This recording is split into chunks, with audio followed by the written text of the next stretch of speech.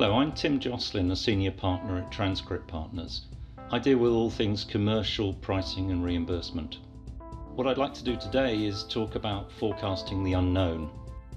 In the next 10 minutes or so, I want to address my definition of forecasting and the unknown, give some pointers to help understanding the landscape, show the importance of the TPP and how this translates into all aspects of clinical development, and data gathering for pricing and reimbursement.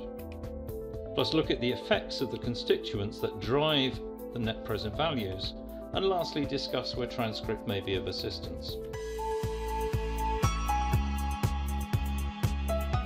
Moving on to the definitions of forecasting and the unknown. Forecasting is very much an art. It's not an exact science, but what's important is narrowing down how wrong you are to give the best estimate for the future. The unknown, no one can predict that. We know that. But there are ways of looking at historical trends and anticipating future events to be able to give a better prediction of where things may go in the future. Understanding the landscape encompasses many parts. For example, what's happening now? What's the standard of care therapy? What's the, the product sales like? promotional activities that are ongoing? Who are the key companies? Looking forward to try and discern if there are any disruptive products, be they medical or surgical approaches, and diagnostics in development are very important as these may completely change the standard of care therapy in the future. Looking at disruptive agents, here's an example from Vertex, Kalydeco, uh, approved for 4% of the cystic fibrosis population. And Vertex are extending this technological approach of CFTR modulation to try and eventually capture the majority of cystic fibrosis patients. Important in this is removing the problems associated with an abnormal CFTR modulation is likely to reduce the future need for pulmozyme and the inhaled antibiotics, the standard of care for the current cystic fibrosis population. Moving on from disruptive therapeutics to novel diagnostics, this MRSA test allows you to dream of the potential for a pathogen specific product that you can use early on in therapies. One specific difference in the antibiotic space is that the bugs fight back and reduce the effectiveness of standard of care agents.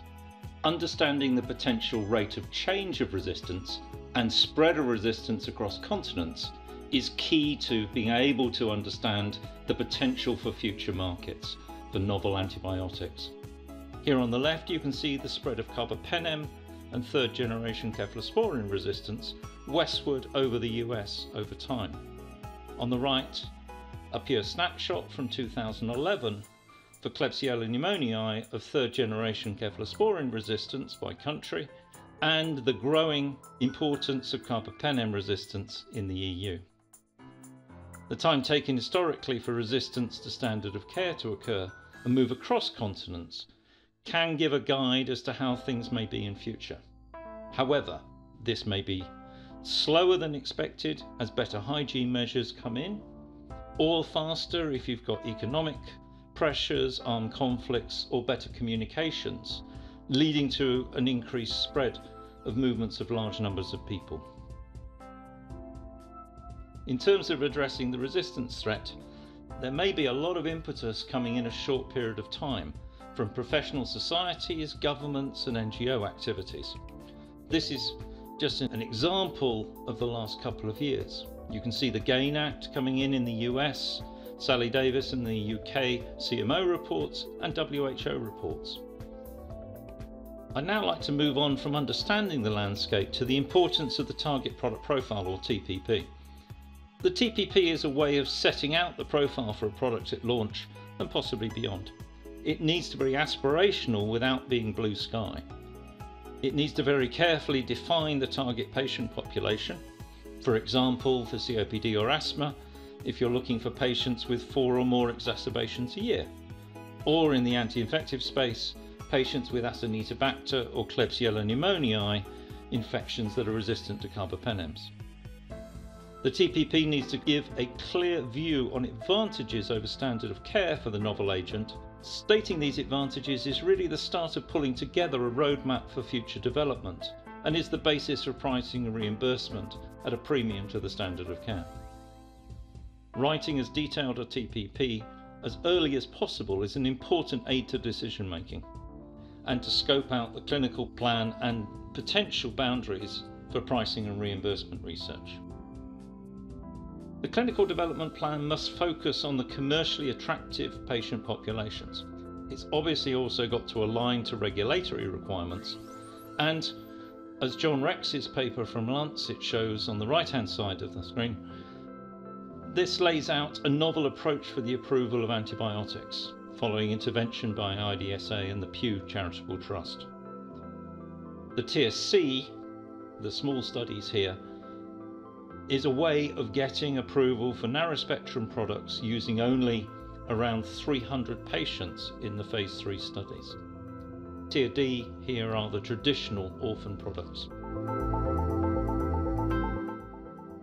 So once all this has been done, then an estimation of spends and revenue projections can be made. NPV or net present values are one measure used by companies to compare across different activities. The differing effects of the pre-launch expenditure can be seen in these charts. Reducing pre-launch expenditure allows you to have more chance of getting a positive NPV. And this is very important as the major competitor to any internal project in a big company is the person in the office next door fighting for limited company resources. The TNF alpha projects uh, were very important relative to the other TAs when Steve Projan put this, this listing of NPVs together. And finally, so how might tranScrip be able to assist you through this process? As you can see from the chart, tranScrip's able to provide a wide range of skills that can help company developing and marketing products. Companies may need all or some of these skills to augment internal resources from time to time during development, or for some small or virtual companies, they may wish to use tranScrip as their integrated development department to help from TPP creation to post approval. Thank you very much for your attention. I hope this has stimulated a lot of thoughts in your mind in terms of developing products. If you've got any questions, either I or one of my tranScrip colleagues will be happy to discuss these with you at a later time.